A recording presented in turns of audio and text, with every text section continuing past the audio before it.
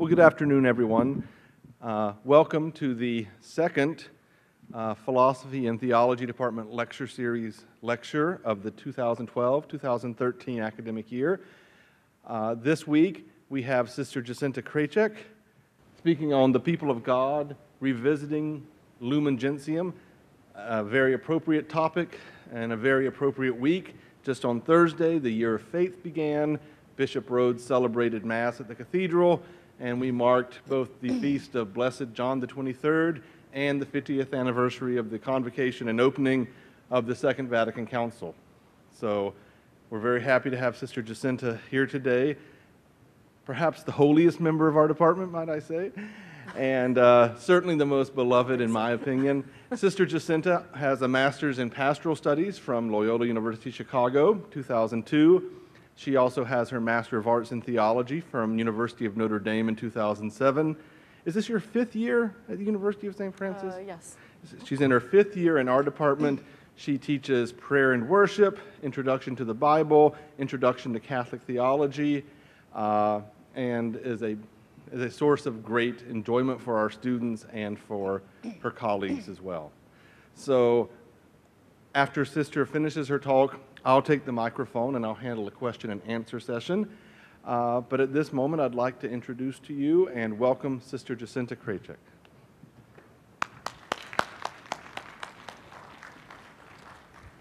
Thank you.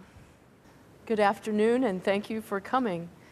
As Dr. Ritchie mentioned, um, this past Thursday, October 11th, uh, Catholics around the world celebrated the beginning of the Year of Faith which coincides with the 50th anniversary of the opening of the Second Vatican Council. Catholics are encouraged to pray the Apostles' Creed daily and delve into a deeper understanding of our faith. At the same time, many are revisiting what took place at and through this historic council. Recently, one Vatican II expert described this council as a tsunami of the Spirit. Personally, I'm venturing into new territory with this talk. Being no expert on this topic, I simply enjoy reading the documents of Vatican II and find them quite inspirational. I am currently learning more about the history of this event since I was too young at the time of the council to appreciate what was happening. I do not remember the use of Latin and the change to English in the liturgy, but I do recall some of the other changes, like the removal of the communion rail at my family's parish church and receiving communion standing and in the hand. However, I'm not as drawn toward changes in the church building as I am toward exploring the deeper understanding of church itself. The church understanding itself, particularly as the people of God. This is a title that we find in the second chapter of the Dogmatic Constitution of the Church and will be my primary focus in this lecture. Let's explore a little background first. Throughout the 20th century, Catholic, Orthodox, and Protestant Christians had been studying the nature and structure of the church. Within Catholicism, papal encyclicals related to this prominent theme were increasing ever since the First Vatican Council. In preparation for the First Vatican Council, a draft declaration on the Church had been prepared ahead of time. The Council convened on December 8, 1869, but was interrupted by the Franco Prussian War. Pope Pius IX suspended the council indefinitely on October 20th, 1870, with much of the work incomplete. Thus, when Pope John XXIII announced his intention to have a second ecumenical council, it was generally thought that the main focus would be the church. The dogmatic constitution on the church was the second document to be, to be produced at the council. It is one of the four major documents to be considered a constitution, and of one and one of two to be considered dogmatic. This means that it is one of the most authoritative documents, and with Dei Verbum, the dogmatic constitution on divine revelation, it does not contain any new definitions of dogma, but it represents existing ones with a view to their application in the present day. Many recognize the dogmatic constitution of the Church to be the most momentous achievement of the Council, both because of its important contents and because of its central place among the Council documents.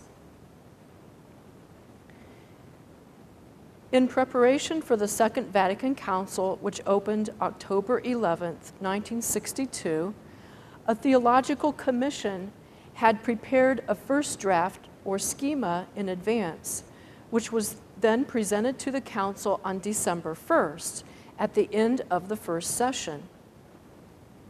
Cardinal Avery Dulles related Among the documents of Vatican II, probably none underwent more drastic revision between the first schema and the final, finally approved text. When the Council Fathers came together, they immediately saw the need of setting forth a radically different vision of the church more biblical, more historical, more vital and dynamic. An entirely new document was therefore drafted during the interval between the first and second sessions. As noted here, during the interval was the death of beloved Pope John 23rd on June 3, 1963, and the election of a new pope, Paul VI, on June 21st. Work continued during the second and third sessions of the Council. Within two months into the third session, the document was completed and ready for vote. It passed overwhelmingly, 2,151 to 5, on November 19th, and was promulgated by Pope Paul VI on November 21st as the third session of the Council closed.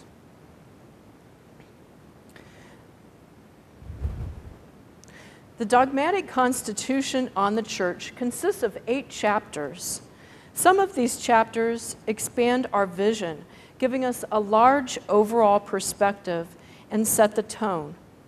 The mystery of the church, on the people of God, the universal call to holiness in the church, and the eschatological nature of the pilgrim church and its union with the church in heaven. Three other chapters focus in on the particular mission that God calls each person to carry out according to his or her vocation. There's a chapter about the clergy called On the Hierarchical Structure of the Church, and in particular on the episcopate, which addresses the roles of bishops, priests, and deacons. Included in this was the decision to reinstate the permanent diaconate and allow it to be open to married men. This chapter especially addresses the issues of collegiality among the bishops, which they were experiencing firsthand during the council. There is a chapter that focuses on the laity, which I will speak about later, and a chapter about those called by God to religious life. The document concludes with a chapter on the role of the Blessed Virgin Mary under her title Mother of God, being the mother of Jesus Christ, the Son of God. As an effective summary, it reconnects us with the first chapter on the mystery of the church, which Pope John had expressed is the loving mother of all, spreading everywhere the fullness of Christian charity.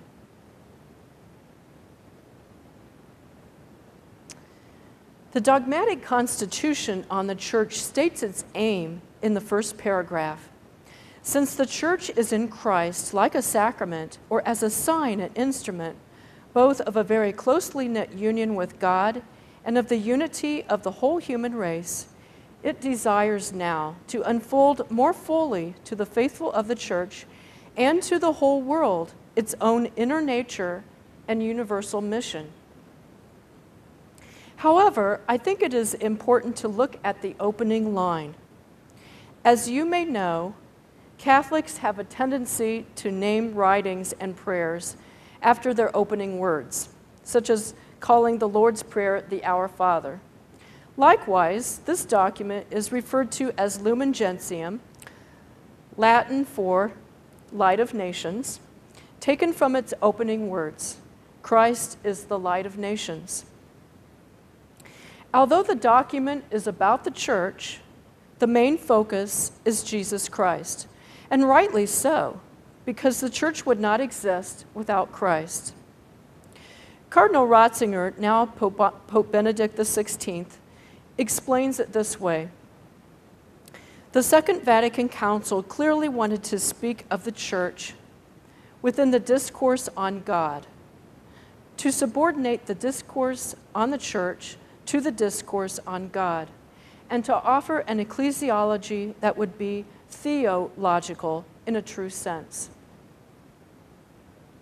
Consequently, Lumen Gentium begins with a beautiful chapter that is Trinitarian, and with use of scripture and quotes from the early church fathers, it focuses on God's plan to raise humanity to a participation in the supernatural divine life of the Trinity Father, Son, and Holy Spirit. In this opening chapter, I find the Council Fathers expressing what earlier Franciscan theologians have emphasized that long before the fall of humanity into sin and the need for a, Redeemer, the Heavenly Father had planned before the foundation of the world that in His Son, we humans were chosen to be adopted children of God. The Son of God came then to inaugurate the kingdom of heaven on earth and to reveal to us the mystery of that kingdom God's kingdom is present on earth and growing through the, through the church, as Lumen Gentium describes. Already from the beginning of the world, the foreshadowing of the church took place. It was prepared in a remarkable way through the history of the people of Israel by means of the Old Covenant. In the present era of time, the church was constituted, and by the outpouring of the Holy Spirit, was made manifest. At the end of time, it will gloriously achieve completion when, as we read in the Fathers, all the just, from Adam and from Abel, the just one, to the last of the elect, will be gathered together with the Father in the universal church. Lumen Gentium makes it clear that all people are called to this union with Christ, who is the light of the world and that the church, endowed with Christ's gifts and the spirit of charity, humility, and self sacrifice, has the mission to spread the kingdom of God to all people. The document then provides a descriptive understanding of the nature of the church by using various metaphors, many of them rooted in the Hebrew images of the Old Testament. For instance, the church is a sheepfold whose one and indispensable door is Christ. It is a flock of which God Himself foretold He would be the shepherd. Further in this section, the church is described as the mystical body of Christ. Here we see teachings that come to us from the letters of St. Paul. The Holy Spirit draws individuals into members of the body, united with Christ, the head, who pours his life into the believers through the sacrament of baptism and continually nourishes his members with himself in the Eucharist, that they may be formed into his own likeness. Each member is given gifts or charisms to be used in loving service for the good of the whole, to build up the church in unity and in union with Christ, its head. Here it is explained that just as Christ has two natures, divine and human, the body of Christ is both human and divine. In other words, the church is at one and the same time an earthly, structured organization and the mystical body of Christ. It is a visible assembly and a spiritual community. It is always in need of purification and renewal, and yet it is holy. Because the church is human, it exists in time and is subject to the forces of history. It endures sorrows and challenges, both within itself and from without, sharing in the cross of Christ. And yet, because of its divine element, it presses forward, full of optimism, toward a goal beyond history, rejoicing in the strength and power of the risen Lord to proclaim Christ until he comes again in glory. Throughout this Constitution, the mystery of the Church is viewed in terms of the paradoxical union between the human and the divine. Among the various images used to describe the Church, the main one found in Lumen Gentium is people of God, the focus of chapter 2. People of God indicates that God desires to bring individuals together as one. God draws each person toward holiness and salvation through our relationship with one another. This assembly is meant to be a reflection of the perfect community that is the triune God, Father, Son, and Holy Spirit, which is both diversity and unity at once. Again, the council points out that this term, people of God, is not new. It is rooted in the Old Testament. God called the chosen people of Israel to be in a covenant relationship, to be his own people who he formed in holiness.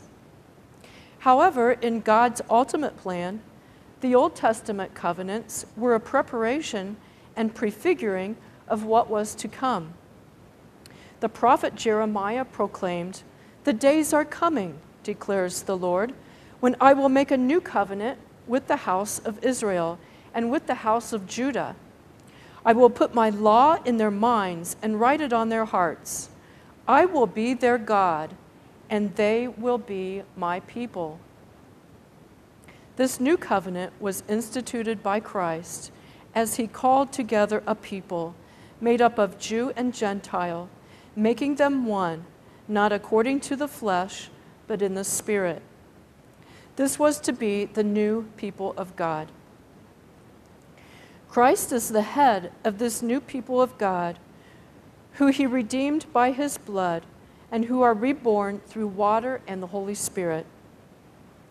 Established by Christ as a communion of life, charity, and truth, it is also used by him as an instrument for the redemption of all, and is sent forth into the whole world as the light of the world and the salt of the earth.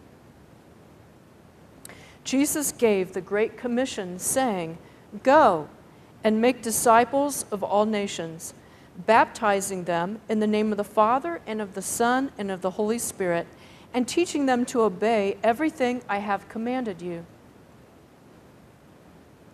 When a child is baptized and becomes a member of the people of God, during the anointing with oil that follows, this prayer is prayed.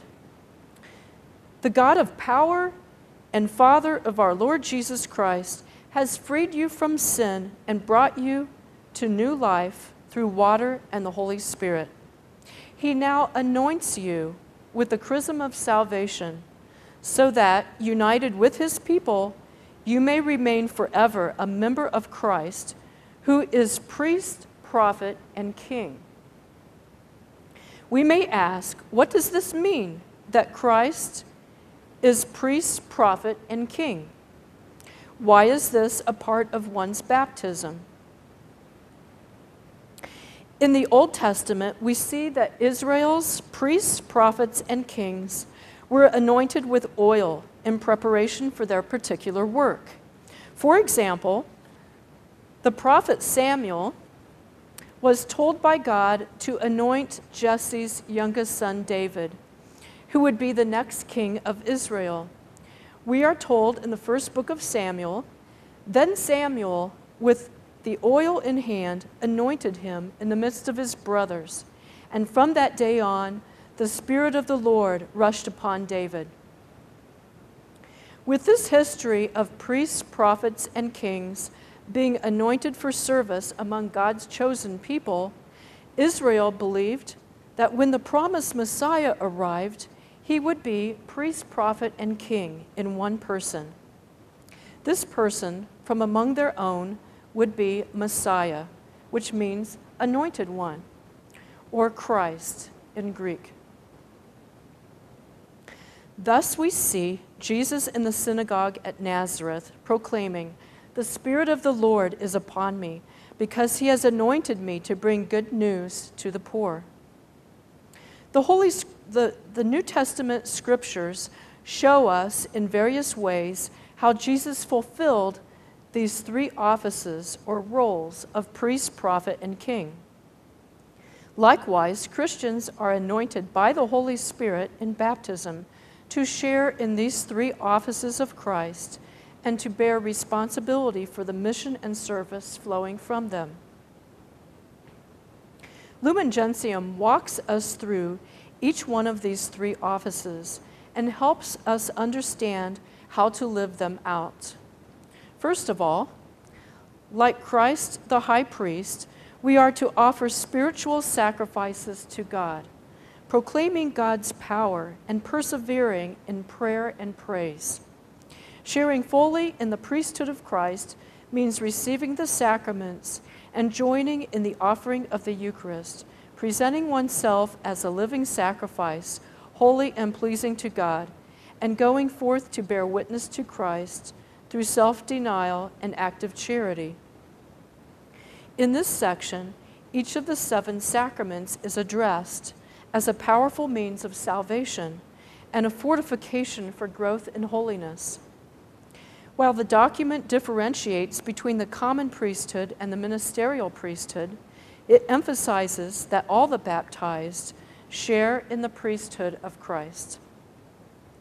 Secondly, the people of God share in Christ's prophetic office. A prophet listens to God and shares God's word through teaching and counsel, whether formal, formally or informally. This involves striving to understand the truths of the faith more fully and to give witness to God through words and deeds. The letter of Jude states Contend for the faith that was once for all handed down to the holy ones. Build yourselves up in your most holy faith. In this section of Lumen Gentium, the Council states The entire body of the faithful, anointed as they are by the Holy One, cannot err in matters of belief. They manifest this special property by means of the whole people's supernatural discernment in matters of faith, when, from the bishops down to the last of the lay faithful, they show universal agreement in matters of faith and morals. That discernment in matters of faith is aroused and su- sustained by the Spirit of truth. It is exercised under the guidance and the, of the sacred teaching authority in faithful and respectful obedience to which the people of God accepts that which is not just the word of men, but truly the word of God. Through it, the people of God adheres unwaveringly to the faith given once and for all to the saints, penetrates it more deeply with right thinking, and applies it more fully to its life.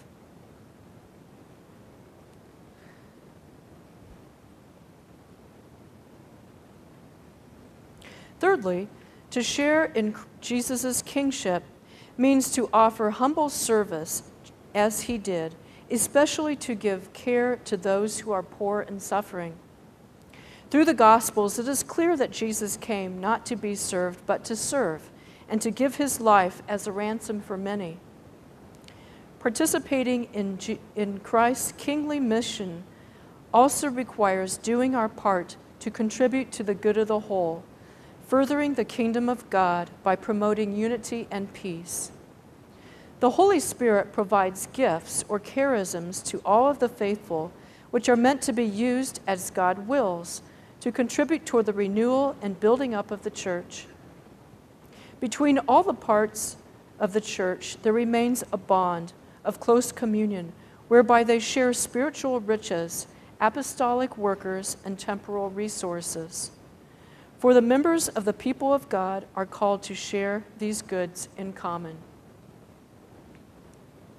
While the second chapter of Lumen Gentium describes how the whole church shares in these three offices of Christ, two further chapters, chapter 3 and chapter 4, describe more fully how the hierarchy and the laity share in the priestly, prophetical, and kingly functions of Christ.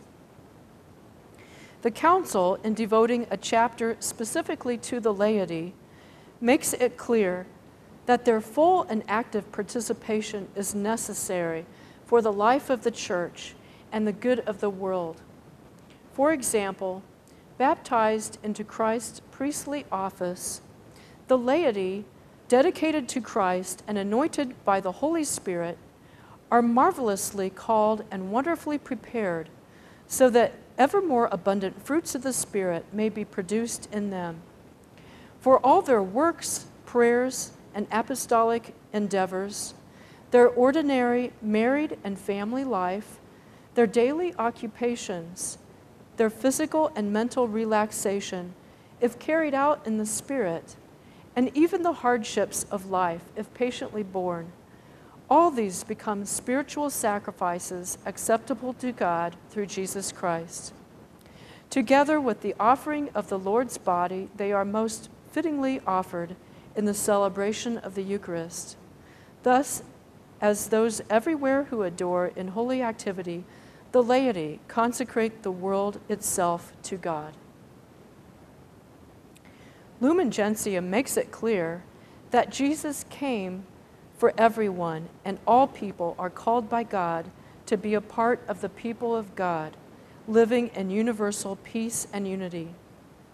To understand what it means to be a part of the people of God, the church, we must return to a section toward the end of chapter 1, which connects with the last four sections in chapter 2.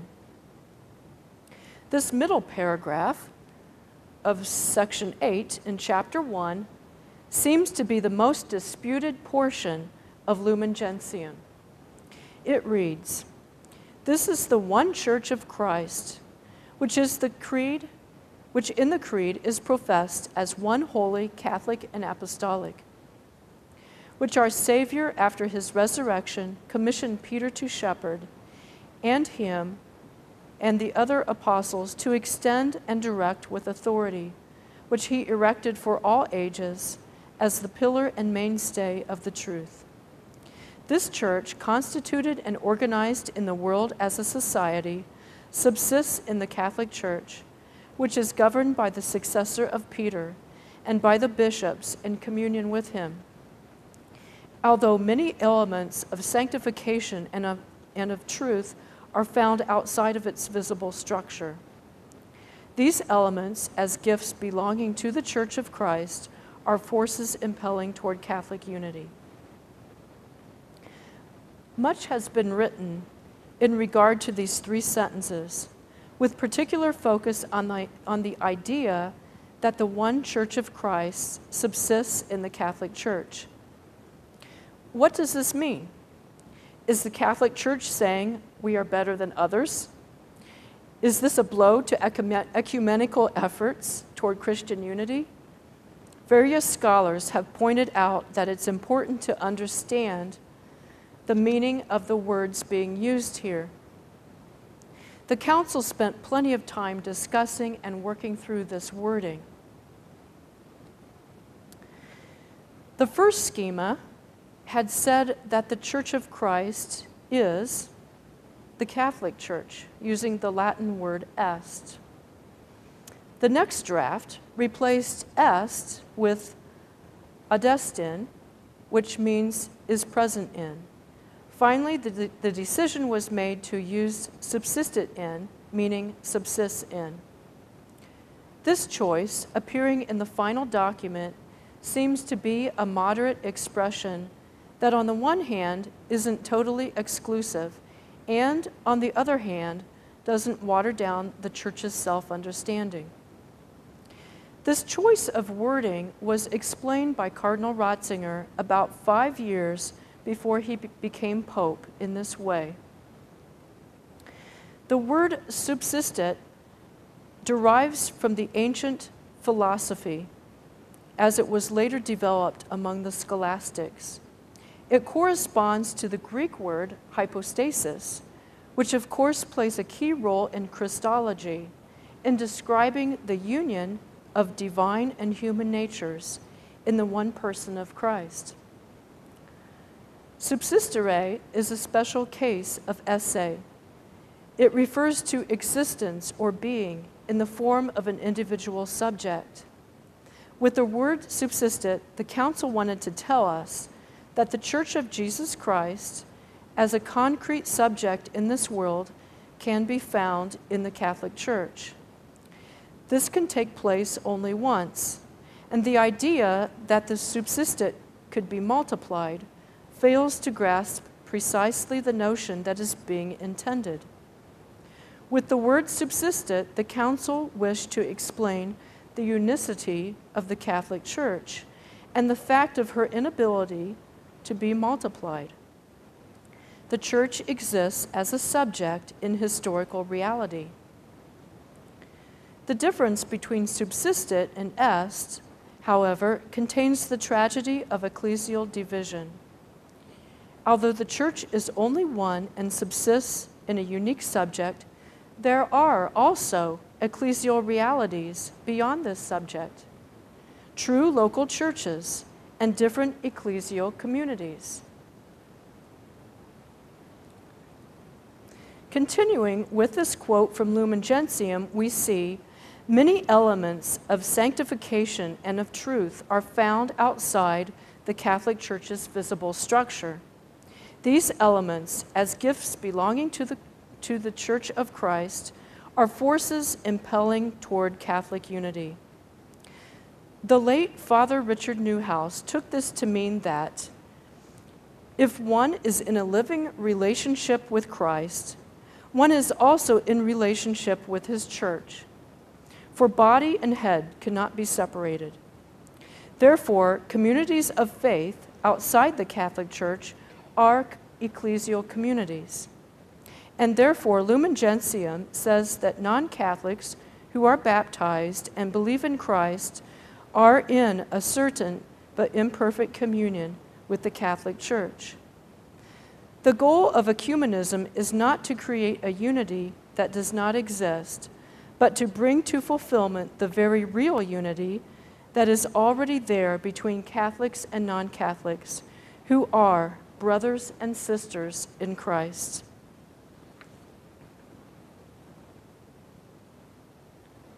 Here we might clarify Va- that Vatican II's use of the term ecclesial communities refers to Protestant congregations, and particular churches refers to Orthodox congregations who are in closer communion with the Catholic Church. Through these statements, the Council is countering any suggestion that the Catholic Church is only one church among other churches and it is underscoring that the Catholic Church is nothing less than the Church of Christ. As such, it is called to be faithful, to be as faithful as possible to what Christ intended his church to be. At the same time, it repeatedly emphasizes that this has nothing to do with boasting or rivalry. Lumen Gentium, makes it clear that everything the Catholic Church has received is a gift from God, which carries a responsibility with it.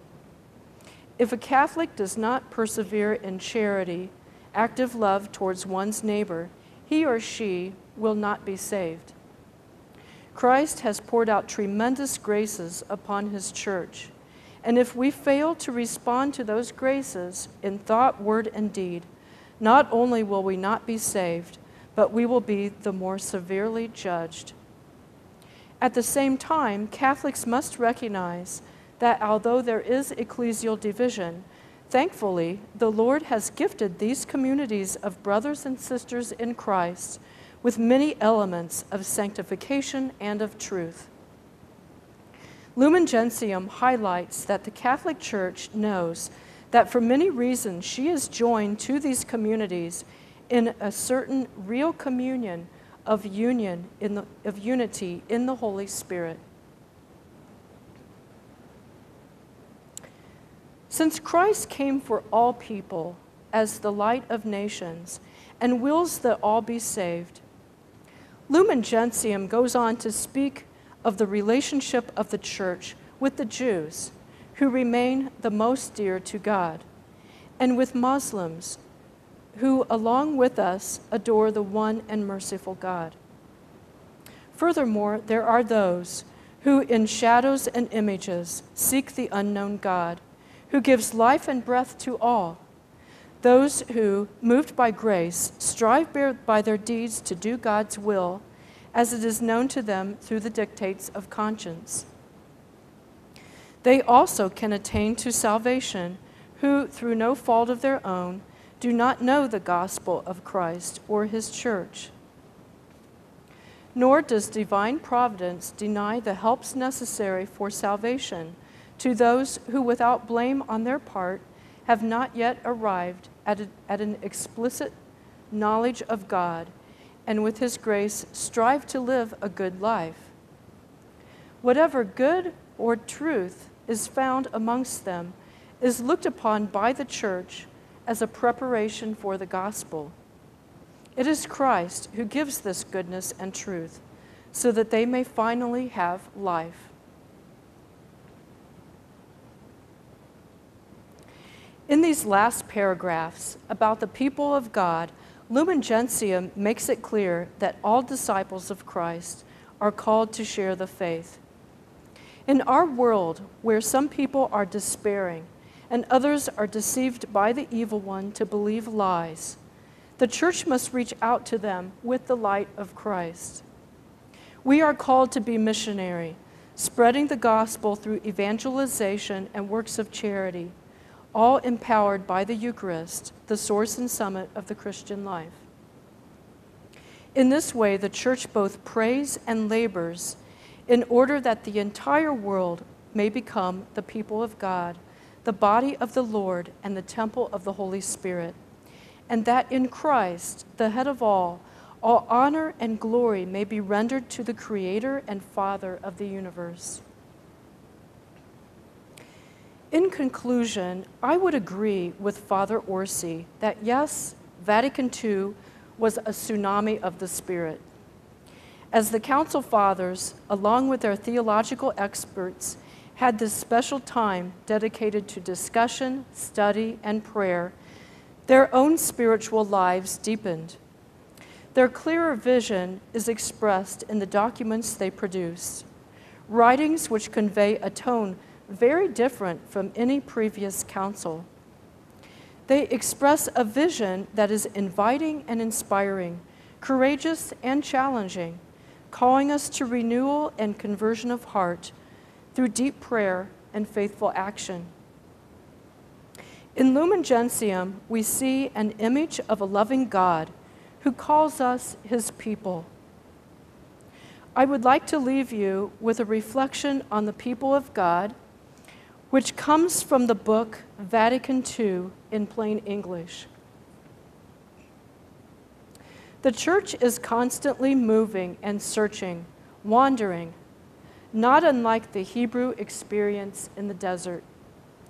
And even though the church's movement is sometimes filled with trial and tribulation, Nonetheless, it remains faithful overall.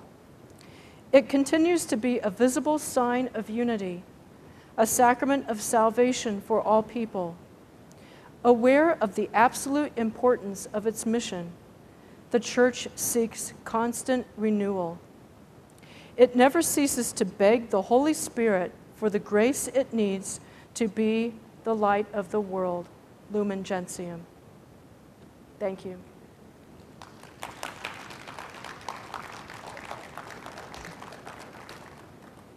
With Lumen Gentium's affirmation of the universal call to holiness that all Christians have, how that challenges vowed religious to think about their own special vocation within the church. If they're not the professionals and we're the amateurs, what, how does this challenge you to reconceive uh, and renew what it means to be a vowed Franciscan sister?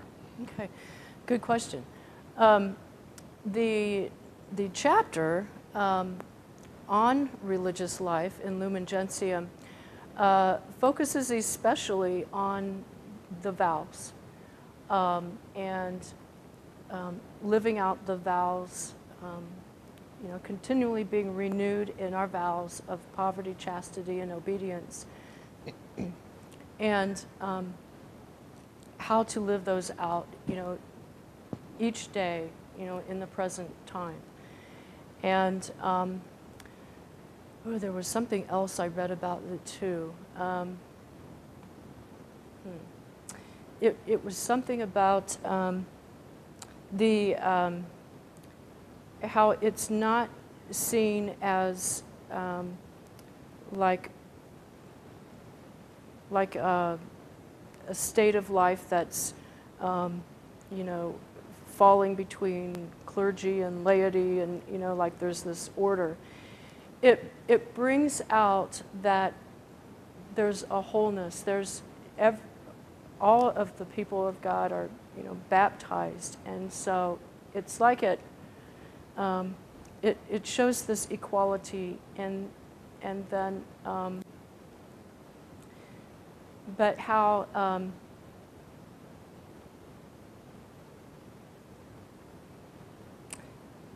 the calling to religious life comes out of um, our baptismal call. And then it goes on to say um, um some then in the baptismal call are called to, um, to religious, religious life, some are called to live that out as um, members of the, of the clergy um, or like it mentions in the, in the chapter, um, bishops, priests, and deacons. Uh, yes, uh, thank you. But I was, uh, while you were talking, I was thinking of, of uh, the Basilica in Washington, D.C., and mm-hmm. one new piece of art was put in there called the Universal Call of mm. Uh, Holiness. Yes. And that so very much impressed me. Mm-hmm. And I, I all, so your little idea that uh, it's it's for everyone, you know, uh, and and your expos- explanation of people, uh, you know, outside other denominations, that call this for them and for everyone, and that sort of uh, mm-hmm. that kind of diversity is there, but also the unity. Besides the fact in in that church there is so much diversity, all the different kinds of Mary devotions to Mary and that sort of thing is beautiful. But that I just wanted to say that universal call for holiness for the people of God has got to be the most important thing that I've mm-hmm. noticed. I think maybe what could be shared um, for those of you who might not be familiar with um, like the church before Vatican II and, and then after Vatican II. And of course, I was too young to know before Vatican II, but I've heard plenty, um, that Catholics were to keep to themselves a lot and, you know, not go share worship and prayer with other Christians. And Vatican II broke that open and, you know, to see that we're, we're, body, we're brothers and sisters in Christ. You spoke about um, a difference in tone that distinguishes Lumen Gentium from its, its predecessors. Yes. Um, would you say more about that difference in tone and also if there's an important difference in substance as well as tone? Um, the tone definitely is different, and, and I think that um, surprised the bishops as they were working on it because um, they, they knew from the history that um, in the different uh, councils, um, the church, the, the church leaders had come together uh, to, um, a lot of times because of heretical movements, you know, and to, to clarify that, well, what's, what's being believed over here is uh, to be condemned. You know, this is, this is to be condemned over here, and no, this is where we stay, is with the truth over here, that, you know, that Christ handed on. And so the, the tone of um, previous councils um, expressed a lot of, of uh, more authority um, and um, condemnation, um, whereas this is definitely pastoral. Vatican II was very pastoral.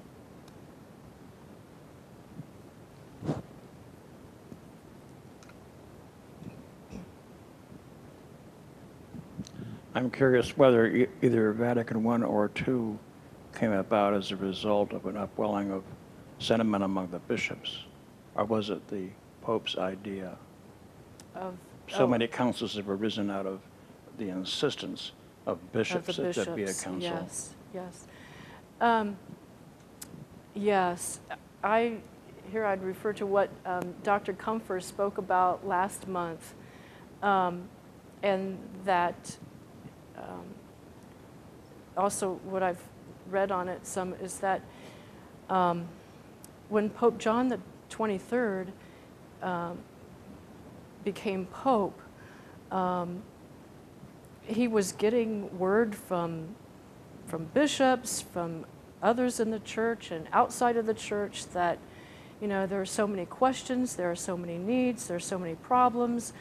And how do we deal with the changing situation in the world um, at this time, you know? Um, and, you know, we need to, to have some kind of updating in a way to be more, more relevant. And um, uh, would, would you like to add some? No, I was going to ask another question. Oh, okay. I But, but I, I think that historically that did happen with this council, uh, that it was seen as a way to bring many, many voices together um, and, and to express the church in a, in a much more universal way, dealing with some of the, the lived issues of the church. Mm -hmm. And um, no one thought that this elderly pope would do much, but he surprised everyone and just said, "Let's open the open the doors and let the Spirit come in more fully." I, I, I want to thank you, especially for going over uh, much of the, the, the chapter on the people of God and pointing out that the, th- the threefold role. I, I think we, we, we've become so used to those terms of a priest and prophets and king uh, that, that, are, that are gifts and charisms that we all have by way of baptism. We forget that that came out of this council. Um, and it's, it's so saturated our, our own speech. I remember reading in Ut Unum Sint, which John Paul II wrote, um, I think almost 30 years after the council. And he, he begins a, a kind of an argument that Uh, the, the issue that he wants to address is triggered in his mind by the witness, the, the prophetic role, the witness that he finds in the martyrdom of so many Christians who are not in union with Rome. That mm-hmm. it's forcing him to recognize the Spirit is working in those ecclesial communities, and he Yes. must address uh, Rome's lack of energy to, to, to help bring that unity to fruition. Mm-hmm. So thank you for that, Yeah. that reminder of that. You're welcome. Another thing that I um, that I like about the the um, idea of priest, prophet, and king um, was a reflection that I came across um, back in 2005 when I, I took a group of um, young adults to um, World Youth Day in Cologne, Germany. And there in, in the uh, cathedral there, um, it's supposedly the relics of uh, the, um, the three magi, the three kings, um, you know, that who we celebrate uh, Christmas, Epiphany. um, who brought the three gifts to Jesus, the newborn infant, and um, gold, frankincense, and myrrh. And there are reflections on how these three gifts relate to these three offices. Um, gold presented to Christ because he's a king. Um, incense, which was used by, used by priests in worship, you know, given to Christ because he's high priest. And um, myrrh, a very unusual gift to give to a newborn infant because it was used to embalm the dead, um, represents his uh, prophetic role because the prophets usually die. They are usually martyred, like you said. Are there any other questions? Well, I'd like to thank you once again, Sister, for a, a wonderful and a stimulating talk. Uh, I noticed Sister Felicity is here too. When I called you the, holy, the holiest in the department, let me say, like the presidential election, polls are all over the place and it's a horse race. So uh, I don't want to make That's it, this is no time to be making enemies, as Oscar No. Wilde said. So, well, I'd like to thank everyone for coming. We have another talk uh, November 11th. I'll be speaking on the inspiration of Scripture in Dei Verbum, uh, trying to bring out in the same way that Lumen Gentium discusses the presence of God in the church. I'll be discussing what Vatican II has to say about the Word of God in Scripture and how in the modern world we try and hear God's voice through the, through the Bible. So I hope I'll see you on November 11th, same time, same place. And God bless. Thank you. Thank you for coming, and there are um, some refreshments out here, I know. Uh, Sister Anita's cookies and some water. So thank you for coming. Thank you.